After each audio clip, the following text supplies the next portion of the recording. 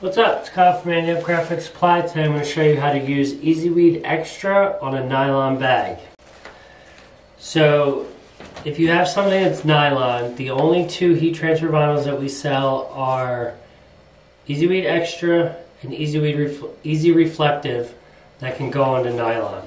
So you're going to want to make sure that you have EasyWeed Extra or Easy Reflective if you're going to use nylon. So this is a nylon bag I picked up.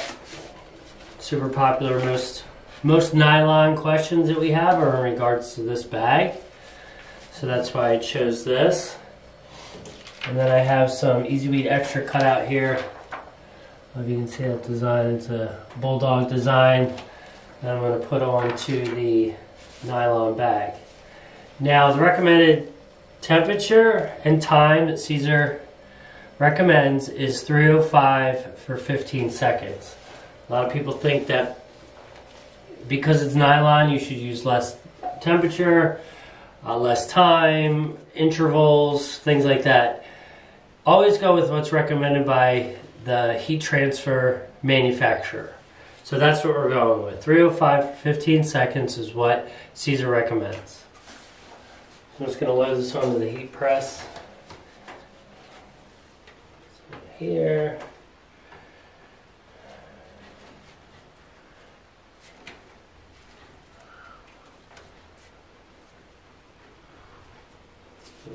hopefully we can we can get this to fix. You want, want to make sure you don't have any seams on here. I think we're good. Actually, I'm gonna flip it over because they're gonna wear it. Somebody wears it on the back, I want it to be on the right side. Alright, try this again. Alright. So we got the top seam hanging off, we got these two uh, knots of the rope string hanging off yet, so we have a nice uh, even surface. Just gonna do a quick pre-press the wrinkles out, warm it up a bit. I have the EasyWeed Extra that I cut out. I'm to throw this on here.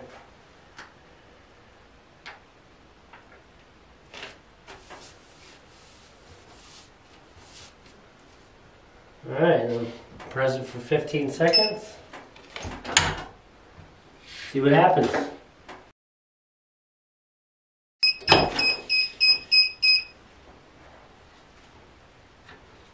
Alright, pull this off. Let's see, is it extra warm or cold or hot? Extra hot or cold? Just gonna go ahead and peel it.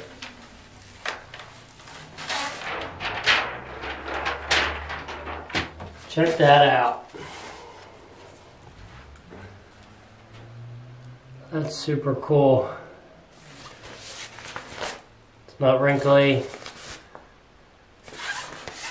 Wrinkly word. Yeah, it's on there. now you got your nice little nylon bag. your EasyWeed Extra right on there. Bam. You can get this color and all the other EasyWeed Extra colors at anteupgraphicsupply.com. I will drop a link in the description. If you have any questions on nylon or applying anything else, let me know. Have a good one.